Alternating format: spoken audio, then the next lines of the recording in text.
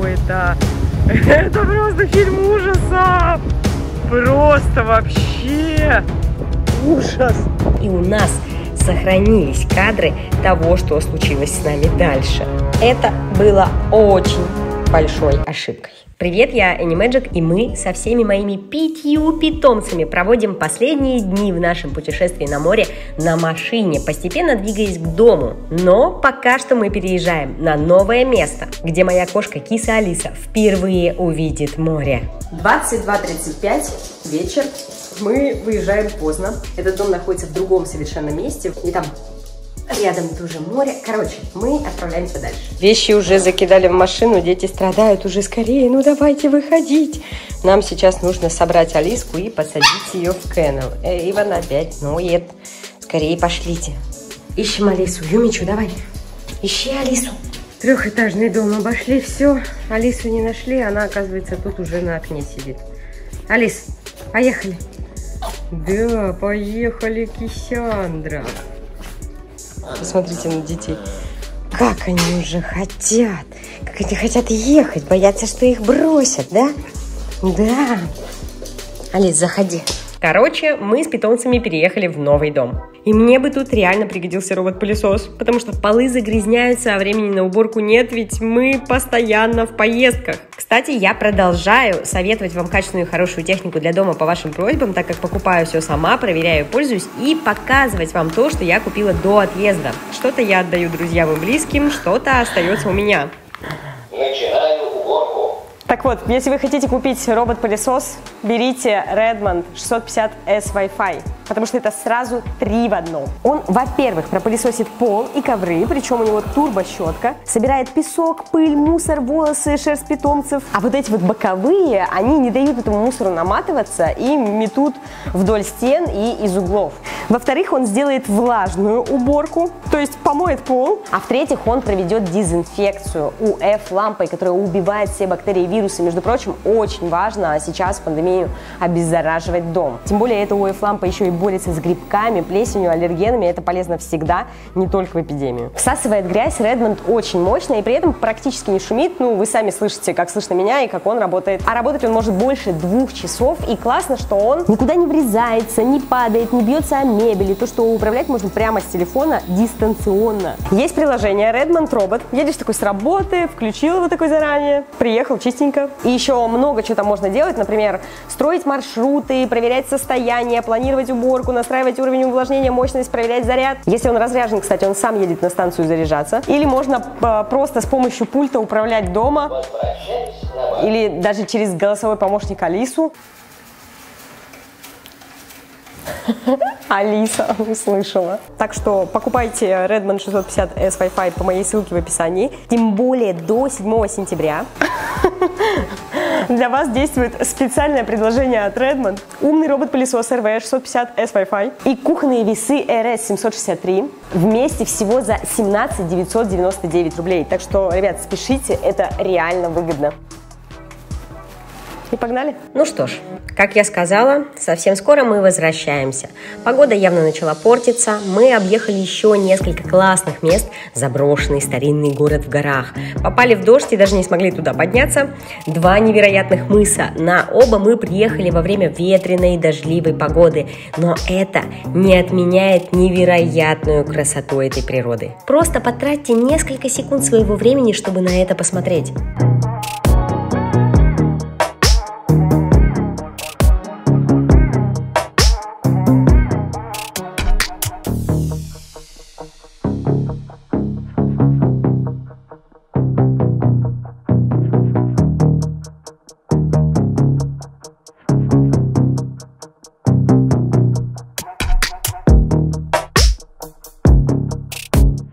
Пока ваш мозг делает перерыв, я вам напомню, что на 3 миллиона мы заведем с вами нового питомца. Для этого надо поставить лайк прямо сейчас на это видео, написать комментарий внизу и нажать кнопку подписаться.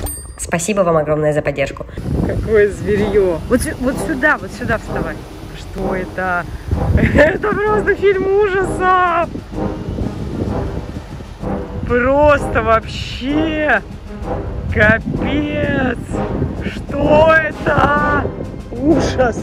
И вот, наконец-то, мы приехали в то самое место, где как раз и решили познакомить нашу кису Алису с морем. Но что-то пошло не так. Самое первое, что пошло не так, это поломка камеры. Все, что было снято мной на эту белую камеру, которую вы видите сейчас в кадре у меня в руках, исчезло. И это очень обидно. Именно поэтому мне приходится озвучивать эту историю сейчас. Ведь слава Magic Вселенной, мы снимали все происходящее еще параллельно на iPhone, и у нас сохранились кадры того, что случилось с нами дальше. Сейчас до моря дойдем, отпущу. Потому что потеря кадров еще не самое главное, что пошло не так. Итак, мы пришли на песчаный пляж, на котором решили познакомить кису Алису с морем. Пошел мелкий дождь, погода снова испортилась, но не слишком ужасно, поэтому мы решили продолжить. Пляж этот очень длинный и широкий, и идти к морю было не близко, поэтому все это время киса Алиса была у меня на руках. Мы практически в Феодосии. Вот там вот Феодосия. Ну что ж, а дальше начнется самое странное. Я посадила Алису на песок, и она уже решила дернуться и попытаться найти укрытие бежать от моря, потому что смутил ее звук волн. Я понимала, что ей это может понравиться не сразу, хотя она часто дома обращает внимание на воду, и я бы даже сказала любит. Не купаться, конечно, но наблюдать за ней точно.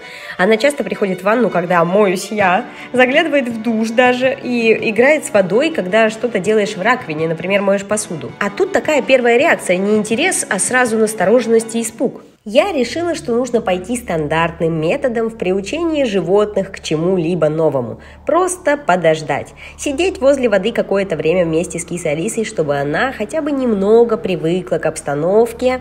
Но сразу скажу, чуть позже, прям буквально через несколько минут, я совершила серьезнейшую ошибку, которая могла стоить мне очень много. Как минимум глаз. Я была уверена, что Алиса относится к воде нормально. Она бывала на улице, видела, что такое дождь и сильный дождь. Гуляя, видела лужи, озера, ручьи, то есть с водой сталкивалась, тем более дома вода ее интересует. Поэтому я решила, что надо посадить ее на соседние камешки, и процесс привыкания пойдет намного лучше, чем сидеть на песке, где волны могут ее задевать, когда подходят на берег. И чтобы посадить ее на камешки, я решила кошку, которая находится в моменте привыкания, в моменте раздражения, напряжения, взять на руки. Это было очень большой ошибкой. И тут произошла самая жесть, причем не один раз.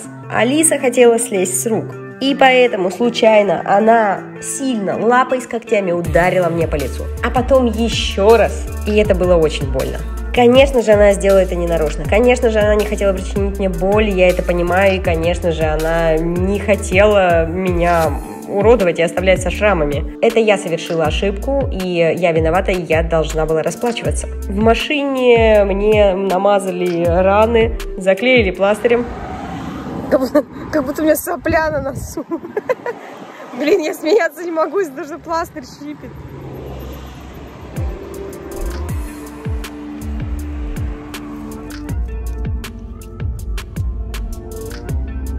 Они были достаточно глубокие, и боюсь, что останется шрам. Ну а в это время Алиса осталась на берегу с оператором который не стал ее брать на руки, что сделал на самом деле очень правильно. Он просто стал ждать и снимать ее реакцию, не дергая ее, не таща, не беря на ручки, не пытаясь поднести ее ближе к воде. И вроде как она даже не убегала, а сидела и смотрела на воду. То есть, по сути, мне не хватило терпения. Я, как настоящий мэджик, как настоящий стрелец, хотела сделать все быстро и сразу показать кошке воду, ожидать, что она будет нормально на это реагировать, верить в это. И вместо того, чтобы подождать хотя бы полчаса, хотя бы посидеть с ней на берегу, я решила, что нужно схватить ее, посадить ее на камни, и за это получила по лицу. И совершенно справедливо, ребят. Поэтому никогда не трогайте испуганную кошку, точнее, вы ее можете трогать, но трогать ее надо правильно, не брать ее одной рукой, поднося к лицу своему. В общем, с оператором Алиса не сказать, что очень сильно успокоилась, но, по крайней мере, она с пляжа не бежала. Она сидела